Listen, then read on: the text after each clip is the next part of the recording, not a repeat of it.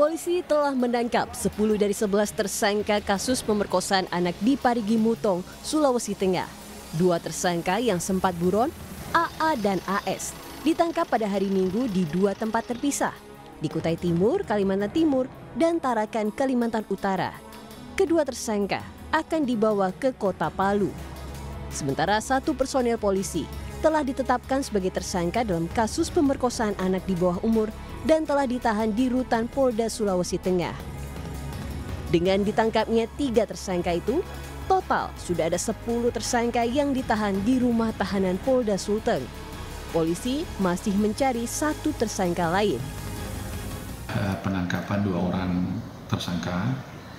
Yang pertama penangkapannya di, di Balai Hukum Kalimantan Timur, tepatnya di Kota Madia Tarakan. Kemudian yang kedua di Kalimantan Timur, tepatnya di Kutai Timur. Sedangkan untuk kedua tersangka sendiri saat ini uh, berada di Balikpapan, persiapan untuk menuju ke Palu. Untuk anggota BRIMOBnya sendiri, oknum BRIMOBnya sendiri, sudah dilakukan penetapan tersangka, gelar perkara, kemudian dilakukan penahanan di uh, rutan Polda Sulawesi Tengah. Walaupun kondisi korban berangsur membaik, saat ini korban masih mendapat perawatan medis dan psikologis di RSUD Undata.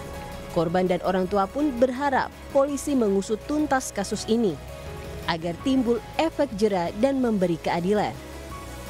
Tim Liputan Kompas TV